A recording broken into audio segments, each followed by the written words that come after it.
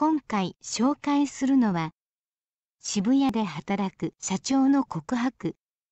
真相版という本です。告白のネーミングはまさにこの本にふさわしいと思いました。ずるいこと恥ずかしかったこと傲慢だったこと。弱かった時のこと負けの部分をここまでさらけ出すビジネス書はないと思います。幻冬者の健城徹さんが他の本でこの本について優れた青春小説だと言っていたことにもうなずけます。会社の強さはビジネスモデルではなく採用や社員の士気の高さ組織の強さはトップの抜きんでたリーダーシップにある。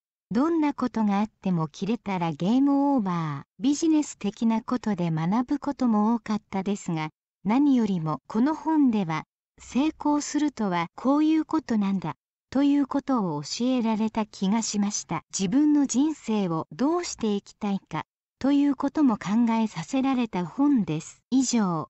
興味のある方は実際の商品を Amazon などでご確認ください。今回は最後までお付き合いありがとうございました。よかったらチャンネル登録をお願いいたします。